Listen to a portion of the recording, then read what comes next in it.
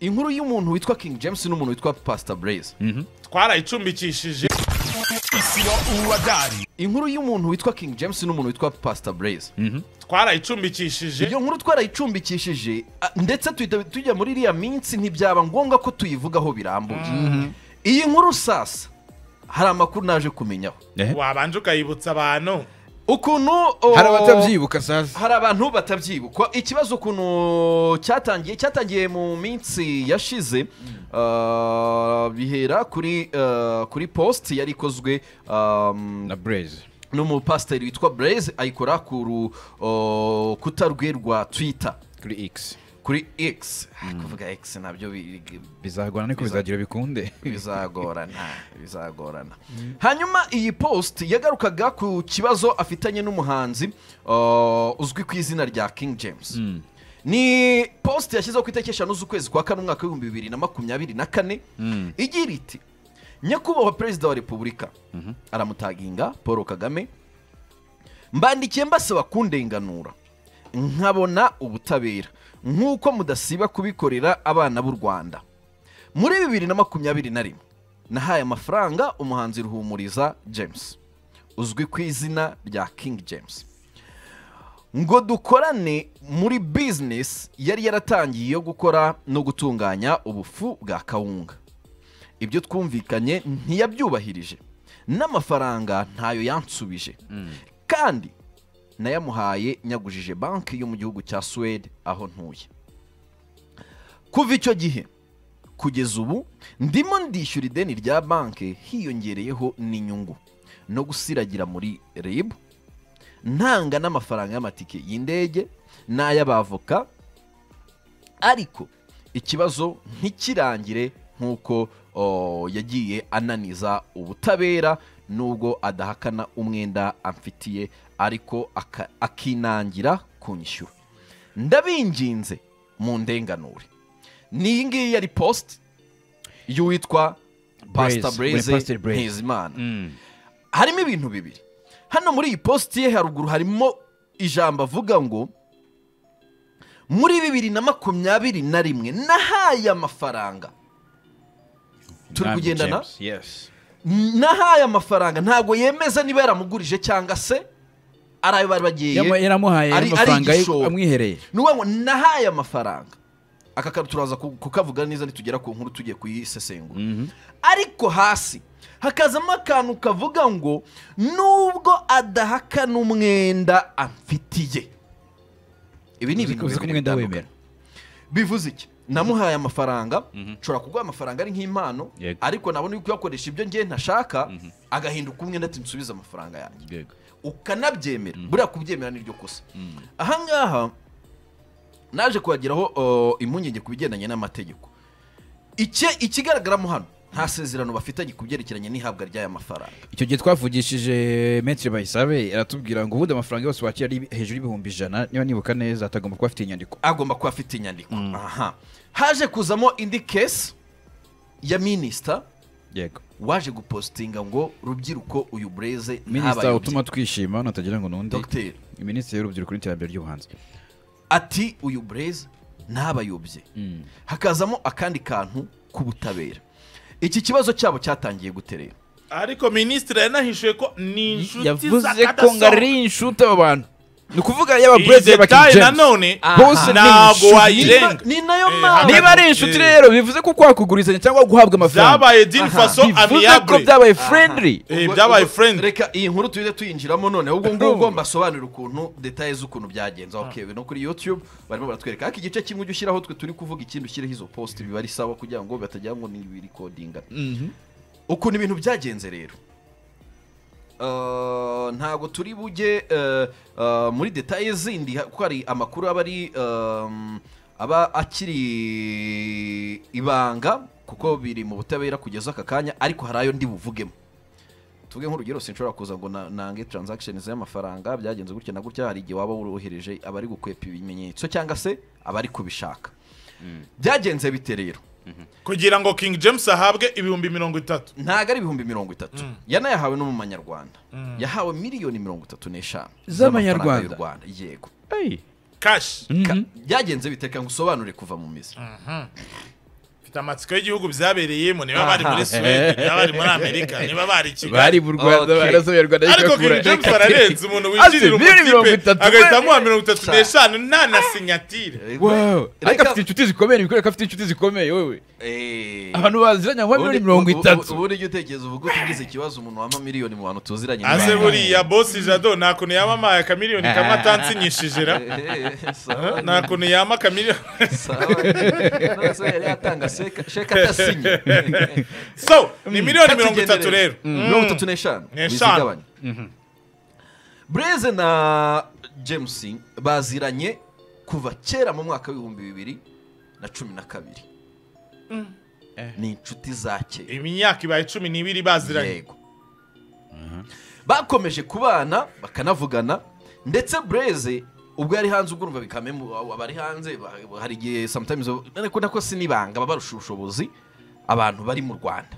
Ibyo ngibyo ntitwabihaga reka tubite aba diaspora.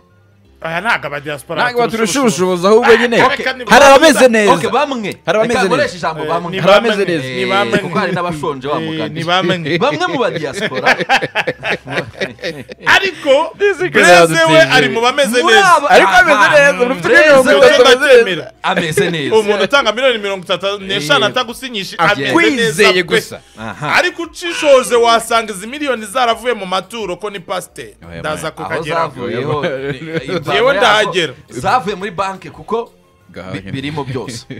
Hanyuma rero bakoranye imishinga igiye itandukanye. James akavuga ntiza miliyoni ebyiri nshutinge videwo ndi- undi akazimusubiza oh, ejo akamubwira ati "Mm, nagize ikibazo wenda mpa miliyoni icumi ejo akazimusubiza ni ukuvuga ngo bari inshuti hahandi na wanyaka senkisa nkayaguha wanyaka desa nkayaguha ukayansubiza n'ibiki n'ibiki n'ibiki n'ibiki ni inshuti buri inshuti Ni za inshuti. nya- inshuti zigurizanya amafaranga mwishyurana Zigasubizanya. ziba ari Eh, inshuti ari inshuti ariko hari n'abantu babikoresha nka trick mukamuguriza rimwe akakwishyura urumva akakwishyura, yatangiriye kuri ebyiri akakwishyura. kuri eshatu ku byageraho icumi nka- Mwaretse aho birebereye reka turi kugenda kwe- inkuru kuvumba izo mwenge ab- urumva nkuru kuyitegereza ku gisozi byanyica cyane. Bya- ndajya mbona agakomenti. baba inshuti. Bigeze mu mwaka w'ibihumbi bibiri na makumyabiri na rimwe mu kwezi kwa karindwi james yaje kubwira bureze bari kuganira bisanzwe atagamije kumwa- kumuguza amafaranga. Ariko aramubwira ati rero musaza ya bizinesi yanjye natangiye yananiye ngiye kuyifunga ya kawunga se yego yari asanzwe afite uruganda. Ya, okay. Kubera ko twabonye ntiwibuka ko twabonye ko ari amafaranga yamuhaye uruganda rumaze umwaka umwe rukora. Aha. abimuganiriye nk'inshuti undi aramubwira ati nshuti muvandimwe aho kugira ngo urufunge se uwaguha amafaranga ugakomeza ugafonkisiyona. Byazaba ngombwa ko nzaza mu kwezi kwa cumi n'abiri ntibuke turi mu kwa karindwi. Ko nzaza mu kwezi kwa cumi n'abiri tukaba twajya muri bizinesi ariko udafunze uruganda. James ati ati usa na so tiwaba umubyaye tiwamfura we reka n'ubundi ni ho naganishaga tiwamfura waba umubyaye Hey. Eh, kuko hari n'izindi positi nimu- nimuza gusitokinga twita ya ruhumuriza. Uraza gusanga mu kwezi kwa munani k'uwo mwaka. Yapositinze burezi ati my best friend. Yigeze no kumubwira ngo ni- ah, birthday ni ibintu nk'ibyo Eh, ibintu by'isabwa ubwo nyine urumva ari muri icyo cyumweru yamuhaye izo yaratijwe joyinga tiwamfura amafaranga Eh, ati imfura y'u rwanda. Udupositi njya dufatiraho abantu. Ajya Eh. kubona nkabona nka venkeri yipositingishije icyana ngo my besto Eh, urisha ngitekerezaho ibintu byinshi cyane. Tuzatuma mbireka rero bimeze hanyuma rero Eh, amafaranga yamuhaye mu byiciro bitatu. Aha. Ayoherereza king james miliyoni cumi n'ebyiri cumi cumi n'eshatu. Ari miliyoni mirongo itatu n'eshanu. Oh, plutôt yabanje kumuha miliyoni icumi icumi icumi icumi ni miliyoni mirongo itatu yabanje kumuha mu bi- mu byiciro bitandukanye. Kuko hari limite bagushyiriraho yo kwakira amafaranga runaka. Noneho yari iturutse hanze mu rwanda biba ari ibindi bindi. Hanyuma rero ubwo cya kibazo fata yaravuze bivuze ko ataba atayamuhereye mu rwanda. Yego nyine yari ari muri suwede ari mu kwa karindwi amubwira ati mu kwa cumi n'abiri nzaza i kigali. Aha. hanyuma rero icyaje kubaho ni iki? Bureze yohereje mirongo itatu mbere aza mu kwezi kwa cumi n'abiri ahamagara james. Ati tubonane barabonana barahura ese bizinesi na- ati narumva nagize gutya na gutya na gutya shyiramo amafaranga ati ariko ntabwo uruganda ruri kuzamuka nk'uko nabitekerezaga. I need some more time.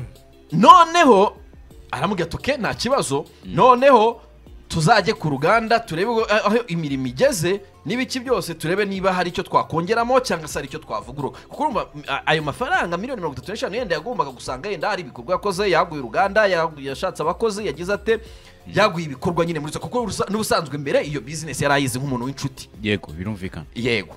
Hanyuma rero bati tuzagenda barajyana ku ruganda. Bageze ku ruganda asanga uko rugaragara inyuma nta kintu kimwe yigeze ahinduraho nyuma yo guhabwa ayo mafaranga. Yego. Arangije aravuga ati buriya ashobora kuba yaraguze imashini nshyashya cyangwa se yarongereye ibintu runaka. ntawamenya Mhm. nk'umuntu na bukenga yaciye ku ruhande abaza umwe mu bakozi b'urwo ruganda. Nta kintu gishya kirimo. Atese ubwo turi mu mwaka w'ibihumbi bibiri na makumyabiri na rimwe mu Mm. kwezi kwa cumi n'abiri Mm. atese hari udukorwa tumwe na tumwe tw'impinduka mubona muri uru ruganda mukaza aravuga ati rero ahubwo mpasigaye ndi umuzamu. Ati n'abakozi baragabanyijwe bitewe n'uko uruganda tutakicuruzwa. Yari ari kumubwira ati ko uyu muntu nshaka kumuha isoko ryo kujya ngemurira kawunga ingana gutya amatona angana gutya. Mm. nk'umusekirite rero utazi gahunda izo ari zo ati reka da ati n'abakozi ahubwo barabagabanyije. Agata mu gutwi abibajije james aramubwira ati nari ntaratangira porosesi ariko ibikorwa biri vuba. Bureze rero yari afite igihe gitoya mu rwanda. Aza gusubira muri suwede. Ariko asiga amubwiye ati shyiramo akabaraga bibaye ngombwa twashyiramo n'andi mafaranga. Mm. ariko wowe shyiramo akabaraga tureke iyi bizinesi niba warayize ukabona koko ya- yazana inkamu nk'izo wambwiraga n'ibiki n'ibiki n'ibiki n'ibiki n'andi mafaranga ntugire ikibazo. James arakomeza ariryamira. Ntihagire ikintu na kimwe ahindura. Noneho hashize igihe batanavugana nubwo yahise agabanya kominikasiyo bitandukanye nk'uko mbere bavuganaga birangira nta kintu na kimwe nanone akoze. Bigeze mu mwaka w'ibihumbi bibiri na makumyabiri na kabiri mo hagati yaje konge- koherezayo mushiki we. Blaise yohereza mushiki we? Yego.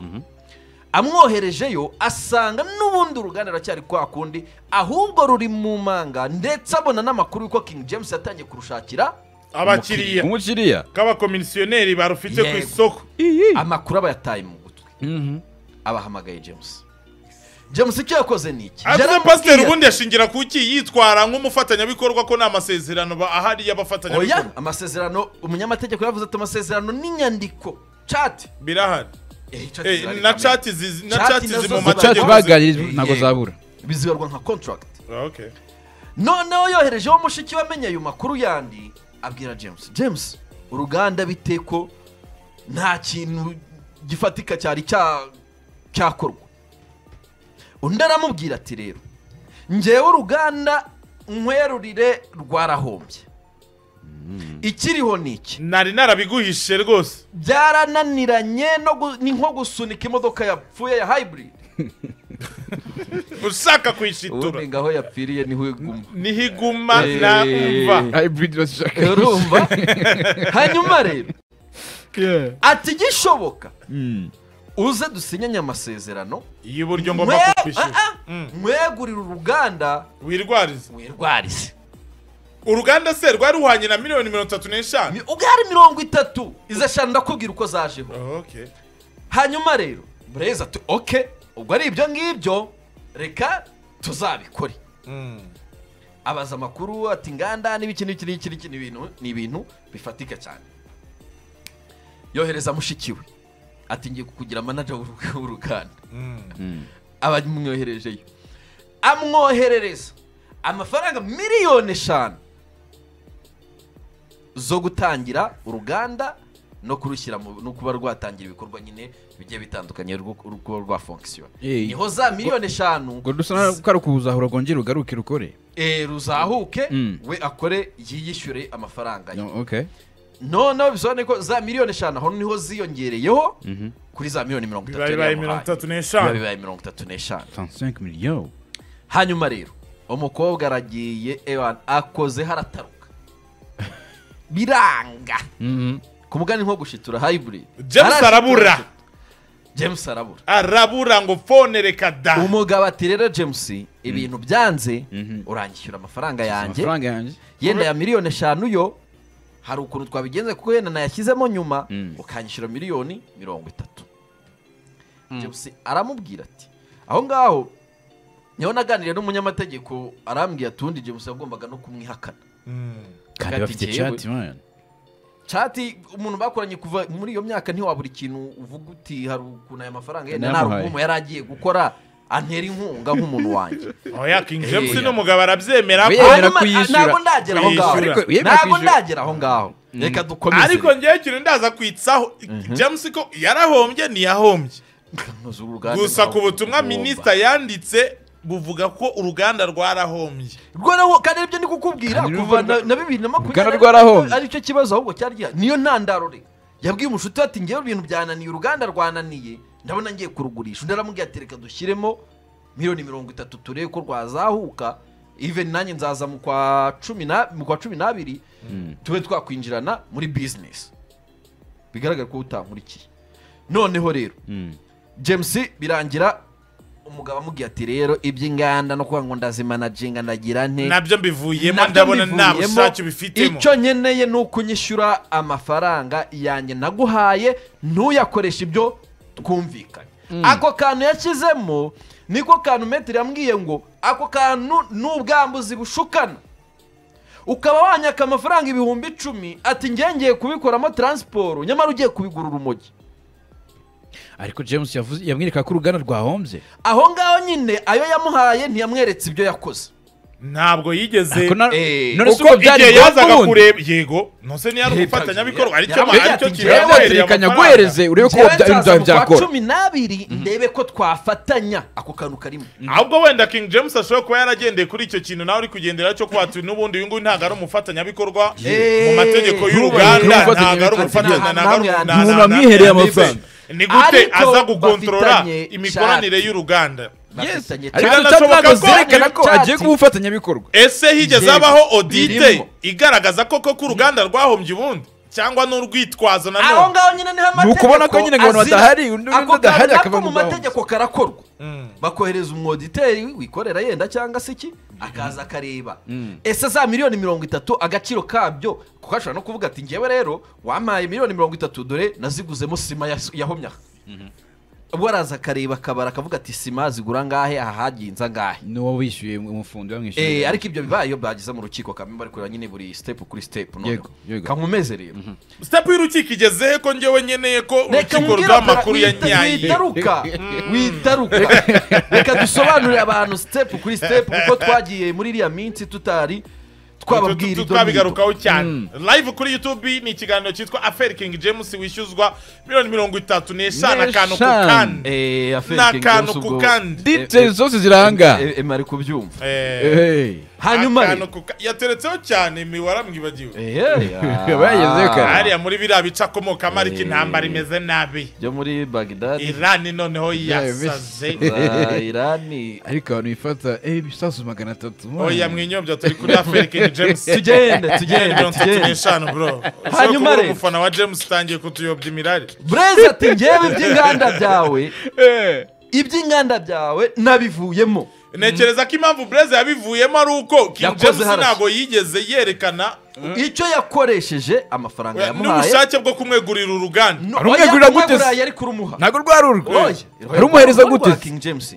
Rwa rwa King James. Rwa King ariko James. Rwa bari King James. gusinyana amasezerano undi arashatse kumufasha. Ah ah. Oya ntabwo Gusa n'amasezerano bagiranye. ni ukuvuga ngo byagezeho King James aramubwira ngo fata uruganda. Sibyo? Njyewe ukore byanze. Cyajyamo miliyoni eshanu O, izo shani ntabwo yazihaye James yazihaye mushiki we wari wabaye nka manager w'uruganda kuko we yari i Kigali. Uri kubyumva? Ati noneho kora noneho uzajya umverisa wowe oya ujye wiverisa Hey. ujye wiverisa yawe nashiramo. Uzansubiza ibyanjye. Ariko bimuha na James nawe abizi yuko bitaba ibyo bintu bitashoboka kuko ikoreza urusyo.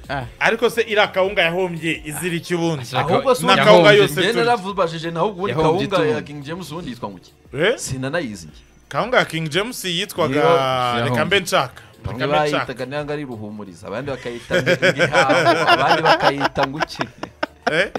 Ariko amakuru ahari ni uko king james na ziriya alimentation yari yarafunguye zitwaga oya wizi ivuga rya zina kuko ni irya Eh, kampani. Nazo ngo byose ngo yaragurishije. Oya so ngereka nkubwiye. Cyangwa yararagiraga. hari ikintu ntemera usanga ari umushumba ariko kuko izina rya ririya kampani Mm, rikora akandi kazi. Eh, icya kabiri ni- uzarebe na na- na- na- na kara eh, n'akarayira kampani y'iriya kampani birasa neza niyo kuri alimentation Mm. eh, kandi muri business habamo icyo bita za trademark bakagiramo ibiki. Kandi sinekeza ko izi kampani imwe ishobora kugira ama- iwe- kam- uh, hashobora kubaho kampani ebyiri zitwa amazina mo ariko james yahombye gute? mu mwaka w'ibihumbi bibiri na makumyabiri mu kwa gata oya tariki eshanu z'ukwa munani yari arimo afasha abantu n'ibiro magana atanu mirongo itanu bya kawunga noneho aho si nanjye imbere y'umwaka nyine aho ni imbere y'umwaka mbere y'uko uruganda ruhomba ariko avuga ko na james Eh. yigeze gutabwa muri yombi bibiri na makumyabiri na rimwe. Mm, azira ngo yitiranyijwe ngo n'umujura. Yes asanzwe muri banke. Icyo kintu mukibuke. Bamufatiye muri banki Eh, bamufatiye muri banke ngo yitiranyijwe n'umujura ariko ntabwo yari we nyine. Ibyo ibyo kuba we cyangwa atari we. Dore se rwamufunze gusa nyine baramwitiranyije. Baramwitiranyije zarangiye kesi ari ukumwitiranya? Ariko yari yaje ati Eh, ibi- ibindi byihorere urashaka kujya mu biki? Ntabwo ari byo turimo. Hanyuma rero ukuntu byaje kugenda. Amaze kubona ko uruganda nta kintu kivamo yaramubwiye ati icyo nkeneye ubu ngubu aka kanya ni amafaranga yanjye. James ati rero niba ari amafaranga yawe ushaka igihe ari ubu ngubu ndaguha uruganda urugurishe ukuremo ayawe undi aramubwira ati rero njye sindi mu rwanda. N'ibyo byo kugurisha inganda ntabyo nzi. Icyo nshaka ni amafaranga nk'uko nayaguhaye.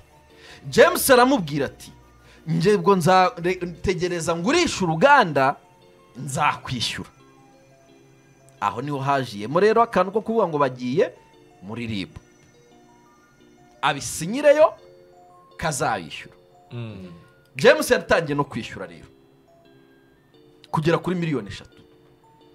James azi ubwenge ubwo nizo amaze amategeko amafaranga muri yabwiye minisita ko azamwishyura ariko biciye mu butabera. Ageze muri ibya rabana bivamo. Ubutabera rero buriya hari icyo bita um, ruriya ruriya rubanza rwabo ntabwo ari urubanza rurimo. Icyaha ribu yagenza icyo bakoze twari ugusinyirayo nyine gutanga statement nyine nka ribu bayigannye ntabwo yagusubiza ahandi. Ubundi icyaha cyangwa kiba mu mbonezamubano. Aho abantu bashobora kugenda ariko mu mbonezamubano kandi nabwo urukiko rubyemera iyo birenze niba ari ibihumbi magana atatu. Miliyoni eshatu purito kandi ziriya Zirarenga. bivuze ko urukiko otomatike ruzemera yego. Kubijyamo rero. Kuva yemera icyaha aho ni ho ruzingiye. None se ko yemera icyaha? Ariko pasita akavuga ko acunaguzwa na ribu? Aha. Eh. icya mbere acunaguzwa acunaguzwa acunaguzwa. Acunaguzwa ko agomba kwishyurwa. baba agomba kwishyurwa. Bivugwa ko yagombaga kwishyura kujya yishyura amafaranga ibihumbi magana atandatu bya buri kwezi. Mm. bigeze hagati rero ni bwo james yamubwiye ngo njyewe nzajya nguha amafaranga ibihumbi magana ane niyo mbasha kubona. Ku kwezi. Undi aramubwira ati ntabwo byakunda kubera yuko banki ya hano byibuze make nshobora kwishyura ku kwezi ni ibihumbi magana atandatu. Ariho king james yahise avuga ati rero noneho ujya kundega. mu butabera. Noneho kandi ngaho mu butabera biranashoboka ko ariya magana ane yanagabanyuka. Oya. Mm. icyo ukamubwira ibintu bambwiye bagenderaho. Ako kantu rwose ubajije ni Eh, ariko inuza bivuzeho metero yabivuze bushize Bagendera- yaravuze ngo bareba ku bintu uwo ngo wishyuzwa yinjiza gute bihagaze bite? Winjiza ute? Konti yimeze gute? Niba nk'ibiriya yirwa yiyandikisha mu kinyamakuru mu binyamakuru ngo Afite ngo uruganda. ngo ngo ngo. Uruganda rediri niba rumwanditseho. Icyo ni ikimenyetso simusiga cy'uko ufite amafaranga. Ufite amafaranga. ufite aho ukura. Icya kabiri. Afite etaje etaje reka tubyihorere iriya nzu ushobora gusanga ntabwo yemera se ariko grema ko numva nta kintu na kimwe cya ruhumuriza wemera kuko Turi kwiyemera n'iyawe. ruhumuriza ko ariwe muhanzi w'umukire dufite kwemera hari undi muhanzi mu rwanda ari se ngo ngafite ngo Reka mbaze nkubaze safi ajya gutandukana na jidite ntibasanze icyo afite ikintu bita indirimbo gusa safi mu mutungo baba mutungo bavanye Eh, w'indirimbo. rwose wanditse muri RDB ariko safi akubwira ko umutungo kamere mu by'ubwenge ari wo uhenze kurenza ibintu biri ibindi bintu yabonye izo ndirimbo z'ukuntu bazanye yazanditse se ngo bijyanye bize neza. n'ibibazo na badirama Eh. zamani Eh. mwibuka ajyana ibibazo badirama ngo akajya umwe ashinga cano ye Eh. undi akavuga ngo ntabwo bizakunda ko izi ndirimbo ziba iza safi Eh. safi yahise amutanga ajya kuzandikisha muri aradibu Cyane. ubwo rero urukiko rwarabaruye bajya kuganira na jidiyiti basanga indirimbo kuri safi yegukanye inzu yo mu kagarama kicukiro. Basanga safi nta kintu yagiraga. Ahubwo basanga afite indirimbo babaza jiditi izi ndirimbo tuzi guza porodi by the way judith ari mu biruhuko mu rwanda nabonye yarazanye n'umugabo we. Umwana mwiza cyane. ntabwo ari mu biruhuko ntabwo ari mu biruhuko baje gutabara bagize ibyago. Oh, Eh, reka tubafate mu mugongo. Eh, gusa urumva nabonye bafite umwana mwiza basanze nta cyane kintu agira. James ntushobora gusa ashobora kuvuga ati "Ngi- reka n'impamvu ntashaka njye nta kintu ngira. Ngo se musanze uruganda uta- musanze uruganda utamwanditseho ubundi? Uruganda rumwanditseho kuko yamweretse ibyangombwa. Icya kabiri duka- kano kanya ashobora iriya kukubwira ati kano kanya abantu birirwa banshyiraho puresha ngo nshake Kandi njyewe Ndakennye. ndakennye bakamukorera odite bagasanga nta kintu na kimwe kimwanditseho ibintu muri kumbwira mbere gushaka umugore ndamuha iki Ariko naramwemeye mu bantu bose bo muri iyi si. Eh. safi bose atunze indirimbo gusa. Kandi na zo zari zitarenze ebyiri. Erega hakimi yaje none si ikibazo ni safi cyangwa ikibazo ni uwavanze umutungo. Afere hakimi yaje kera Nyine mwana yabigendeyemo byiyorere biragira. afere hakimi yaje kuva ngo jidite yari afite inzu ebyiri afite n'ikibanza birangira bapasuye ikibanza n'inzu ya mukagarama umwe wamuhimwe undi ya atwara safi. Ubu safi aratunze noneho afite umutungo umwanditse. Eh, hakimi hakimi yubawe ushobora kusasanga yarahise amwandika kuri wa muhungu we. Nabyo safi byashoboka ni umuhakimi w'u rwanda. So, igishoboka rero mu rukiko Eh. Eh. kuba james ye- yemera icyaha. Mhm. ikizabaho. Umunyamategeko hazabaho yasobanuye inyoroshyacyaha reka da. Ayo mafaranga yo kuva yemera yo agomba kwishyurwa sibyo? Icya kabiri indishyi z'akababaro ni ho hashobora kuzamo inyoroshyacyaha ngo bazafata ya mafaranga ngo bahita bafata ngo nk'umushinga runaka nyine kuba yatse banki bashobora kuyafata ati iyo yashyira kuri banki yagombaga kungukirwa angahe? Banki zo mu rwanda nyinshi None ni gatandatu ku ijana. Bagakuba bakareba inyungu yakagombye kuba yarabonye mu mwaka ugakuba n'imyaka ayo mafaranga yaziyemo. Ariko se nanone kuba kumva. kuba kuba aya mafaranga yarayamuhaye mu rwego rw'ubucuti. harazamo inyungu bwavuyemo kuko byarangiye bibaye umwenda ari naho king james yakoreye ikosa ryo kwemera. Agatangira no kwishyura. Eh, aho ni ikibazo cyazi. Oya ntabwo yakoze ariko- ikosa yabaye inyangamugayo. Ntabwo yanze kwishyura. yabaye Ntabwo yanze inyangamugayo. kwishyura. reka ntabwo yigeze yanga kwishyura reka, reka. beginning. Ibyo ngibyo ariko nabyo- ahubwo amananiza ko yabishatse yabyitwaza ibyo amananiza ye ari mu buryo agomba yarabisabye. kwishyura. Umuntu inyangamugayo yemewe no kwishyura undi aramunaniza. Amunaniza ate? Kumusaba amafaranga menshi. Adafite. kandi yarayemeye magana atandatu ari we wari wayemeye magana kuvuga ane? ngo aa nyu- yari yemeye magana atandatu nyuma aza kuvuga ngo sinabishobora. Nta kibazo. Ndajya ntanga magana ane Aha. yaza rero- ku wundi yari no kwikwepa akabyihora ko ntabwo wigeze wandikirana intoki ibyo ngibyo urukiko birareba ngo wari gukwepa. Ngo iyaba undi mu rukiko nta bushuti bubamo mu rukiko nta bunyangamugayo bubamo hakora amategeko ibimenyetso nta n'ukuri kubamo. Ashaka yanavuga ati ngewe aya mafaranga nayaguhaye. Ba- uretse ko wenda batakoresha banki hariya kuko icyaha cyabereye mu rwanda. Banki nari no kuguramo ikibanza. Ibyo ni byo ni byo ibyo ni byo bakabikuba ku buryo iki- ikiganiro nagiranye n'umunyamategeko yari ari kumbwira ati bashobora kubikura james ntiyishyure munsi y'amafaranga miliyoni mirongo ine n'eshanu. Kuko hazajyamo n'amatike ibihembo by'amavoka amagarama y'urubanza hazemo ni- n'indishyi aho mu ndishyi rero ni ho habamo icyo cyitwa inyoroshyacyaha bitewe n'uko yemeye icyaha. Ariko ibyo no amafaranga king james se naramuka aburanye avuga ko aya mafaranga yayahawe nk'ubufasha. Cyane ko pasiteri yemera ko byararangiye. yemera ko hari ukuntu yajyaga afasha king james. already yemeye ko ari umwenda. Aho ni we yakoreye ikosa nyine ubundi byose aba yarabihakanye. Muri bafite ko yemeye ko akavuga ari ati umwenda agomba kwishyura. amafaranga ari kuyampa nk'inshuti nzayakwishyura ninyabona niko yagombaga kuvuga ubundi mbere. Ariko yaragiye yemera kuvuga ati deni ndaryemera sini- icyo icyo ntanga ni ukukwi- ntanga ni ukutishyura genda byemera nzakwishyura. Aho ni ho yakoreye ikosa rya mbere. Icya kabiri rero mu rukiko ikindi kintu kibamo. Ngiyo wabyemeye nk'uko bahita bagushyiraho igihe ntarengwa. Cyo kwishyura. Cyo kwishyura. Okay byarenga hakaba icyo bita gukurwa mu byawe ku ngufu. Ayo mafaranga Byarenga. akurwa mu mutungo wawe. Ubwo ni ugutiza cya munara. bahita bakora icyo bita gu- guteresha. Iyo iyo utishyuye. Eh. bureze yahita ajya gutesha icyo bita kashe mpuruza. James akaba yakurwa i- mu bye ku gahato. Indirimbo bakazijyana. Ubwo rero amahirwe afite ni uko yasanga nta kintu kimwanditseho. Indirimbo arazifite ariko. Cyonyine. eh indirimbo nawe yamubwira ati genda wishyure. Ubwo nyine niyo cyangwa mahirwe ugasanga James afite. zanditse kuri sosiyete. Kuko ngo bariya basanze afite nk'indirimbo gusa. Afite uburenganzira bwo kuvuga ngo njye nzajya mbona ibiceri magana atanu ku kwezi. Nabwo bivuye ku ndirimbo gusa nabwo bivuye ku ndirimbo nta mutungo mfite kandi ni umutungo mu by'ubwenge. N'ubwo bwenge mu gihe bukiri buzima rero. Mu gihe bikinjiza. nishyura inoti ya senyisi rero biraza kugenda bite? Ibi ngibi uko bigaragara nuko byarangije kugera no mu butabera. Suna siposipo possible dushobora no kumva itariki y'urubanza ku buryo noneho guhera mu mizi dushobora kumenya ido n'ido akantu ku kandi ntabyo gushakisha. Gusa nanone ah, hanze aha nyaboneka nuho umuntu amafaranga arenze ibihumbi ijana Ijana na ah, mu rwego rwa eh, ni ibihumbi mirongo itatu harya Ijana na Eh, mirongo itatu. ijana na mirongo itatu. Mu rwego rw'amategeko muba mugomba kuba ku- afite inyandiko. Hanyuma rero bagabo uyu muhanzi king james amaze imyaka irenga cumi n'itanu mu gakino. Ay- ayimaze yose yarifunze nta mabara namwe. Amuvugwaho ariko aho bifungukiye bifungutse yigeze mu gutabwa butaka umugabo n'umujura. ugatseka imfungwa ibyo byo ntabwo mbitinda ndi kuvuga ya mabara y'abahanzi y'ubuzima bw'ubuhanzi. Ari nk'ibyo ngibyo. Wavuga ngo umugabo nta mugabo utagira ideni. Eh, ibyo ngibyo na byo wabizanamo.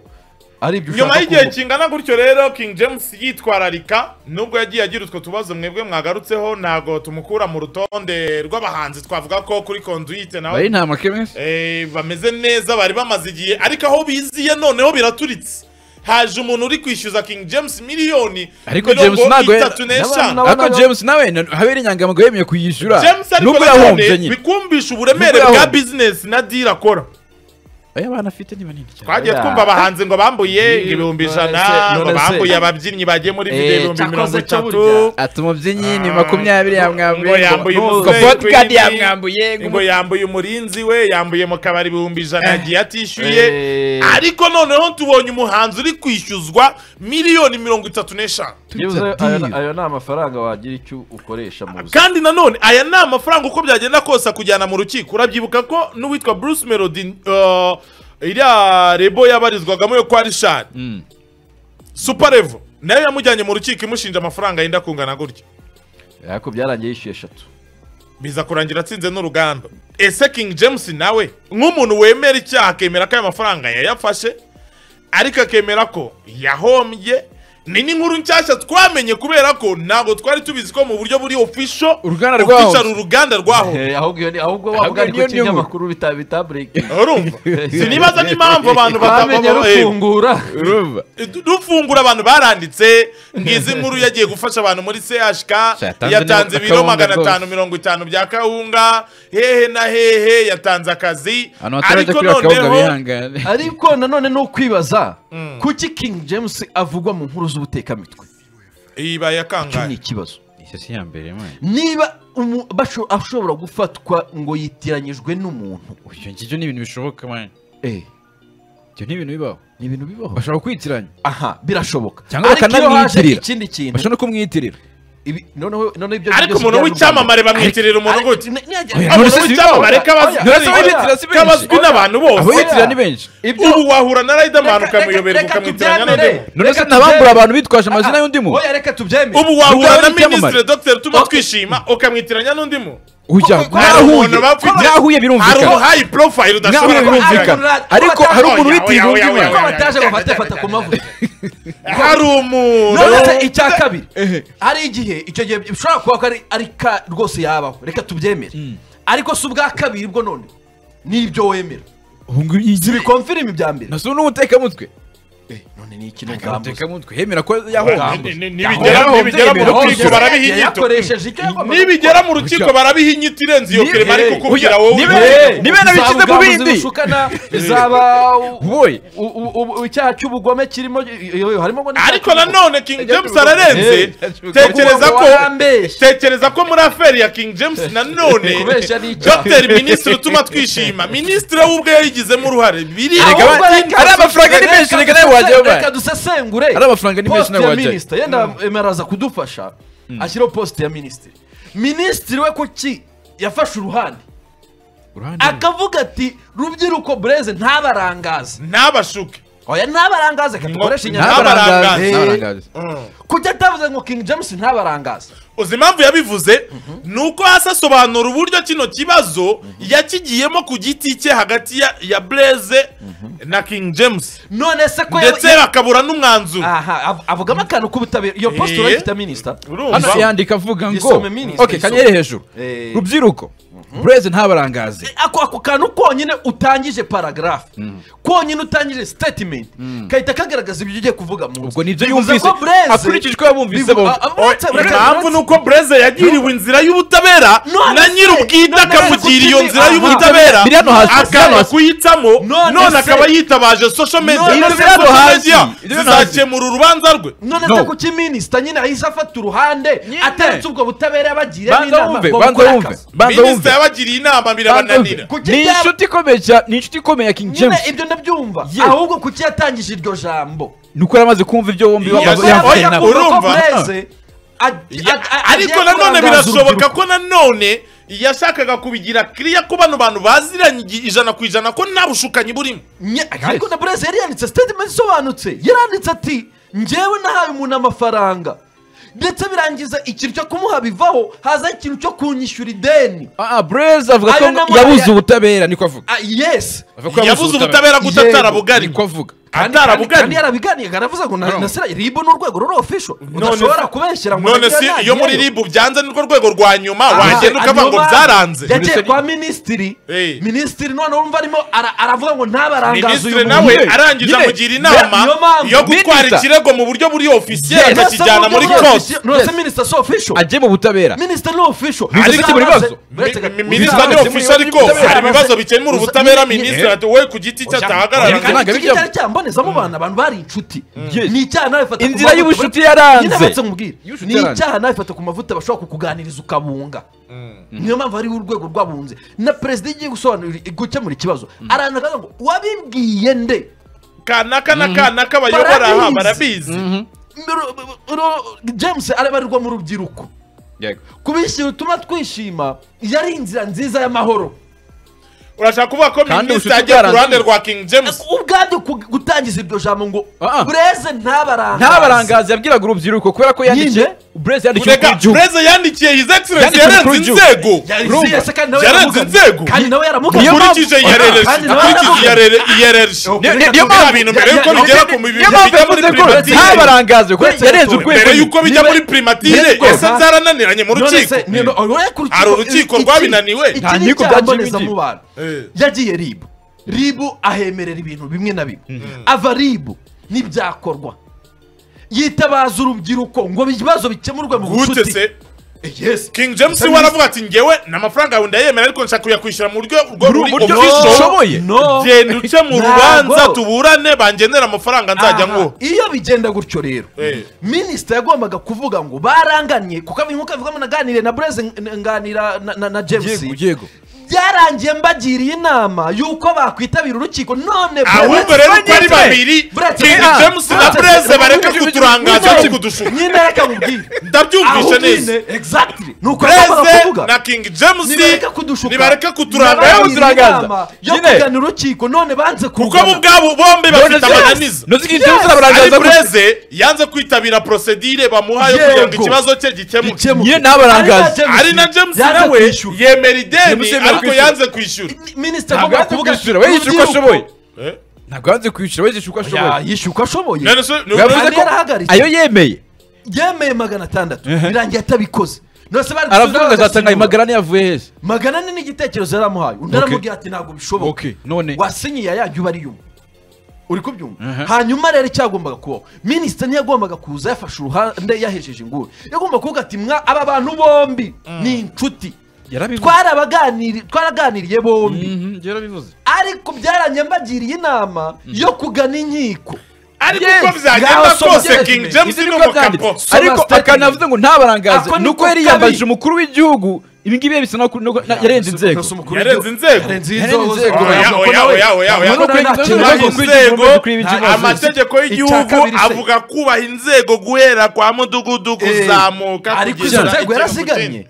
Niba se atanazizi kuko ntaba mu rwanda. Yagannye ribu agana minisitiri. ni inshingano ze kuzimenya. Agomba kuzimenya. utaba mu rwanda se bimuha Agomba uburenganzira bwo kuzimenya. kumenya tubyemere. Ni umunyarwanda Reka ugomba kuzimenya. tubyemere. reka tubyemere. Hanyuma se niba aho hose atari ubwo se igihe yahaga king akavuga james ari amafaranga ko batabyanditse ngo babipubure ubundi bari kutuzana mu bibazo byabo mu bibazo byabo. Nose useka maze nkuba iby'abaturage perezida yagiye gusura abaturage biriya bibazo ububizi kuki tutavuga ngo kuki ata- atabibwiye biriya ni ibibazo by'abaturage nyine abaturage. Rero ni umuturage ariko ni ibibazo by'abakire. ibibazo by'abakire. Ariko abakire nabo bamwe na bamwe bafite ibibazo. Urarekura miliyoni mirongo itatu n'eshanu. Nta rupapuro nta nyandiko nta ki uwo muntu umwizeye ni mama wawe ni papa wawe ni ni mubyara wawe ni musaza wawe. Ni iya minisitiri. yaragiye amuguriza ebyiri akamusubiza undi akamwishyura akamusubiza yamugurizaga mu izina rya yesu cyane iyo ni Mu izina rya Yesu ni nayo mpamvu king james agomba kuyarya nawe mu izina rya yesu muri ya kampani yatwaraga amamodoka yakodeshaga ikanagira amamodoka bakujeho bakujeho bariya barahebye Eh, byararangiye ntago bahebye. Eh, nuko eh, biracyari ngo muri oya, aya nta na procedure. Eh, nuko iyo nkuru irenze ubushobozi bwanjye. Ariko nta guheba ntako kuko hari ukuntu nagipfa kugendera ubusa ahubwo n'uyafitemo kandi kerema nawe yahiriyemo ariko yarahejeje cyane kiragenda na yo ntanatunga na miliyoni nayikukura he kuko noneho nta n'umudiyasipora twari tuziranye ngara- ngarankirira miliyoni wayitunze ryari bwa mbere rero ngubu buraziranye na benshi miliyoni nayitunze kera ariko ntayitunze ngo mvuge ngo kuri konti iriho yenda ikaza nka rimwe mu kwezi ikagenda icyo gihe na yo nkifite n'amaraso ashyushye rwose miliyoni narayi duhamagare icyaha barayitsindiraga Sa- iyo- nayifata warihaye warihaye into bampamagara bose. Njyewe hari ikintu kimwe nshaka kubabaza. Uremera ko king james ari umukapo cyangwa? Ntabwo tubyemera. Ntabwo gute se tubyemera. icya Oya, mbere man. ni we muhanzi wa mbere mu rwanda wubatse uruganda oya icya kabiri Rugahomba. ni we mu- muhanzi wa mbere Uruganda umaze ushobora kugaragara no muri gusanga- aferi nini No guhomba ushobora no ugashyireho. gusa- kuki si urwo ruganda noneho ushobora gusanga hatararwubatse mu yandi mafaranga nawe tuzamenya urukiko urubanza ushobora no nini gusanga Ayo se ni- Hey! ahangaha hazazamo byinshi Ha- hazazamo byinshi. ahangaha uretse none se se hari umuntu ufungwa ngakurikiranyweho kovide ugasanga hari- we bahafatiye urumogi we ba- bafashe ari umwana baje wambaye baje igi. kwirebera barenze ku Oya, mategeko eh, ya hari no kurujya mu Covid. rukiko ufite icyaha kimwe bikaba nka abantu bitandatu bakunda inkiko ndakubwiza ukuri Abantu bose noneho ke james yambuye bafatireho ahubwo nicyo nakubwiye nk'ubu ngubu yakagoye ko yarabisoje ariko mu kanya hari n'abaraza guhamagara bakubwira ko ari umukapo yabahaye ibiro magana atanu mirongo itanu yabashyiriye kaho ye na iriya icyiza- iriya kampani ejo bafunze ngo icucura amafaranga y'abanyarwanda niyo yatangaga ihene mu byaro. Ibyo nta kintu ni- niba ari tete niba ari iki ariko King James ntabwo yari wenyine nicyo cyiza. Aho ngaho nakubwiye gushaka urubanza ubundi baravuga ngo nta metero w'urubanza ubaho. Nawe. Hanyuma muntu. kerema ibi bibazo rero by'amafaranga bidafite aho bihuriye n'umuziki ariko king james ni umuhanzi ukomeye cyane mu rwanda biraza kumugiraho ingaruka imeze gute mu rwego rwa muziki already already na na na na na- n'icyizere abantu bamugirira. Icyizere ni cyo kintu cyane yari ari mu bahanzi bafitiwe icyizere gikomeye. Cyane. Abahanzi bari classe Erega n'abantu benshi batunguwe no kubona izi posti baratunguwe ariko abantu banakorera amafaranga menshi king uzi- james buriya mu bukwe ngo ni umuntu udatinya kuguca miliyoni eshatu. Cyane niyo kuri yaguca eshanu performance kandi y'iminota ariko itanu. uzi umuntu gushobora kwandikwaho inkuru ngo witiranyijwe n'umutekamitwe ibaza icyo kintu ariko. Inkuru igasohoka ariko uwo mutekamutwe bitiranyijwe ko king james agenda mu mamodoka Ibaze. arahenze yirirwa mu mahoteli arenze. Icya kabiri. Uwo mutekamutwe hakaza- nawe yari arenze hakaza umuntu. Nawe akorera mu nakora muri mirongo itatu se. Yes. hakaza umuntu. Kumera muri mirongo itatu ese wageze ngo abajura ni aba- ni abaterura Ariko ari abajura bameze neza. ntabwo bikigezweho. Ariko king james buriya nanone hanze aha biravugwa mu bakobwa ko nabo yababeshya urukundo. Umunsi bafashe umwanya wo kumuteza ingaru y'urukundo. Bakinigura ibyo ntabwo bijya umuntu yankoreye bwe iyicarubozo namubarije umutima nawumena ati ngende muhaye inkwano ati ni ubwa mbere nabonye umuntu uririmba urukundo ariko utarugira. Hari n'igihe n'undi waza akavuga ati iriya nzabamo ninjye wayubatse nzi yuko tuzabana. Ayaya ibyo Eh, byabaye eh. kuri cyusa umugore avuga ati kabisa mbwira mu nzu usohoka. Ndakubwira ni nta nkuru mbi igiza iza ari imwe kirazira inkuru mbi izishoranye n'izindi. N'ibi ngibi niba urubanza bikajya mu nkiko bikaba official. Ndakubwiza ukuri ko muzabona ibi mbivugiye ahangaha uyu munsi. Uyu nguyu atabasa muzabona inkuru zirenze eshanu. Abasa iyi nkuru ya king james niwo mupasitoro ndumva rwose irimo kabitugu kwa. Hari ukuntu idasobanutse neza. inayirema ntayo ubwo ngubu se arabyumva gute uyu nguyu. Ntayo. bituga se ayizanye yahawe ndetse yahawe ndetse ahubwo bituga se yahawe. Minisita se. Hari uwariye se kuri iyo hari uwariye komisiyo se kuri izo 35 miliyoni ni amafaranga king james yahawe mu maboko ye adaciye n'ahandi hantu na hamwe. Ni ukuva muri banki ya pasiteri ajya muri konti ya king james. Icyiza gihari king james ni uko yemeye icyaha amafaranga ye yarayafite yarayemeye ariko nanone bureze nawe ahantu bitangarijwe bakavuga ko akorerwa icunaguzwa.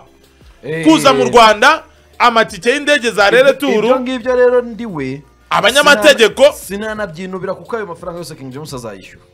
Ibyo rwose ni ibintu biri official ati nakoresha amatike ah, kabone niba yaba yaraje nashaka gutambuka aje yirebera icyaha navuga Eh, ko ahubwo ndiwe naza nkafata nanaje no kuruhuka kwanza njyewe ndiwe naza nkafata hoteli hano nkajya muri hoteli ihenze. Eh ashaka avuga ko atigeze ajya mu rugo. akavuga ati njyewe naretse akazi.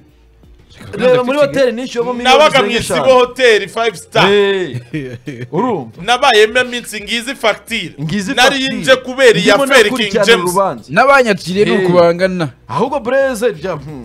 ariko nanone ko bivugwa ko abahanzi bagira abanyamategeko bazi kuburana rwandanzi bakaburana bagaramye mpaka imanza bakazitsinda ubwo bivuze ko bagira amanyanga ndimbati igihe menshi bamufungaga ndimbati uravuze ngo bagira amanyanga menshi ndimbati abantu bose bamukuyeho amaboko baravuga ati kese y'umugore noneho irimo no kumubyaza n'ibiki ndimbati turagukarabye arigendeye. Kandi iragira we- urubanza kandi nawe yemeraga abana. Urumva Bruce Melody nawe kiragiye nabo abantu rwose uburyo ubuyobozi bwa Super Level bwabisobanuraga wumvaga atari urubanza rutazamugendekera neza. Birangira haciye kigabo hagezweho King James. Ese King James nawe? Turaza kubona umunyamategeko nka Maître René uru rubanza rushyira ku gahanga akaruburana mpaka rutsinze. Icyo ni cyo tuzayishyurirwa byinshi ahangaha hano harimo utuntu twinshi tuzamenya. Kotinga igihe dotcom yavuze ko nta kintu ashaka kubivugaho ko yabwiye uriya mujama ngo ajye mu nkiko. Natwe twaramuhamagaye mu kiganiro aratwitaba. N'ubushize yatwitabye kabisa. Atubwira ko nta kindi yarenzaho kirenze Icyo mwabonye ni biriya. ibyo twabonye. Urumva dufite verisiyo ebyiri. Urumva we I- ari i- tayari yiteguye neza kujya mu rukiko. Iya bureze yo turaza ku ku burezi wenda aratubwira kuyishaka niba uri buduhe ido n'ido noneho. Ati umugoroba mwiza cyangwa- mu isi waradari. Oh, nari nkumbuye cyane dc cremani dj royike king james akwiye kwishyura. Kuko kwizerwa mm, ntago bigurwa. Ntazigera atakaza icyo kintu rwose cyo kwizerwa agahabwa ayo Ah. mafaranga nta nyandiko. Ndetse tuzongera kumwizera? Eh, ubuse hari umuntu wakongera kumwizera? Noneho iragoye. ariko yemera kwishyura mani niba umuntu yemera kwishyura ariko nanjye n'ubundi hari umuntu nagurije senkani zanjye. Senkani, umwe N'ubu ntabwo ari kuyama. ntabwo ari kwitaba n'umuhamagaye wa ntabwo eh rega wowe miliyoni mirongo itatu zawe zawe zawe. Zirutwa zirutwa n'igihumbi cyanjye. icyo ni cyo urumva. Reka no guhomba. direct. Reka no guhomba na byo bifite ubu- uburyo bi- bi- bikurikirana. Kuko barareba bakavuga ati igihe wahereye amafaranga ni iki wakoze? Noneho bapime ubwo buhombe. Uri kubyumva? Ngo ntabwo ari ukuvuga ngo njyewe ngo narahombye gutyo gusa. Iriho nyine kubyerekana bara- bara- mu bara- nyandiko byerekana mu nyandiko urebe mu- muri muri- Ubundi- muri regisitire upangamo bizinesi yawe Ba- werekana ati dore iki gihe iki na n'iki shoya ya. Nuwa nunguka ukora icyo ya bita ndahomba nyine audit babyerekana Eh, Yes. nibasanga atarakoresheje ntubwambuzi bushukana cyane. Otomatikari icyo ni icyaha cyari bigomba ariko kwitegereza. Aramutse yaragennye mu bindi bintu ubundi bwo si ya- nyine yarajyanye mu bindi bintu kandi yaramusabishije ku mubwira ati uruganda rumeze nabi ku ruganda n'ibiki aho ngaho niho hazamo nyine ubwambuzi bushukana. Mhm. ribu niyo igomba kwita igenza icyaha kameme noneho hagahita hajyaho porosedire z'ubwishyu n'ibiki ah, no kuregera. Niyo mpamvu hano hantu harimo kesi nyinshi. Kandi ikindi cya kabiri iki kintu ndakomeza kukivuga. Mm. iyi nkuru turi kuyivuga ari imwe. Icyo nzi cyo. Nzi neza ko tutazarangiza uku kwezi tutavuze icyo nzi cyo iraza gusiga ibintu Ibyo byinshi bintu bigiye biraza hanze, gusiga byinshi. hanze cyane kabisa. N'indi mishinga yashoye nawe azayerekana iya Twari- feri king james Mm, As twari long as dukomeza kugira indi turayikomeza tuyikurikiranire hafi. Sido nido se barabiyobewe. Ni akantu ku kandi byanze bikunze ku munsi w'ejo tuzaba dufite ubwo indi verisiyo burezi nawe ndazi ko aza- aza kutuvugisha tukamenya ibirimo imbere. Yego uh, niyo mpamvu maze kugerageza Kuri- aduha ijwi rwose. Turi pureyinga abyivugira mu magambo ye akantu ku kandi. Oh, icyo cyo rwose ni ihame Ndagira- Isibo Uwadari.